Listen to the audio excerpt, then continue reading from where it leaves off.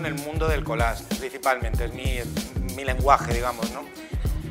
En, un proceso evolutivo, eh, empiezo a combinarlo con otro tipo de técnicas, me está últimamente estoy investigando más en el, mundo, en de mezclarlo con el movimiento, con el vídeo, por mi vida siempre he desarrollado, siempre he tenido un entorno muy, muy, muy cercano al mundo de la moda. Entonces toda esa expresión eh, ah, fotográfica me parece súper interesante porque realmente se juegan con volúmenes, posturas, actitudes que son muy muchas veces muy artificiales, que no se consiguen en la vida natural, en la vida diaria y que a lo mejor eso me permite forzar mucho más mi trabajo. ¿no?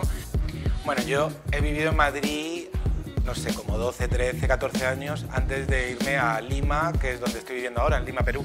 Fue también un poco por esa búsqueda de, buscar esos lugares donde todo fuera posible, donde eh, desde lo que ves cada día por tu ventana no tiene nada que ver a lo que veías en tu cotidianidad anterior, hasta la experiencia con la gente, cómo hablo yo con el arte, no, no lo veo eh, ni peruano, ni español, ni inglés. Al final lo veo completamente sin fronteras trabajar con marcas como mí realmente supone para la mayor parte de los artistas una plataforma, una, visibilidad brutal.